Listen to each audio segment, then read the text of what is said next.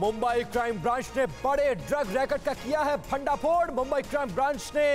पांच नशे के सौदागरों को गिरफ्तार किया है क्राइम ब्रांच ने 1400 करोड़ रुपयों की ड्रग्स भी इसके साथ बरामद की है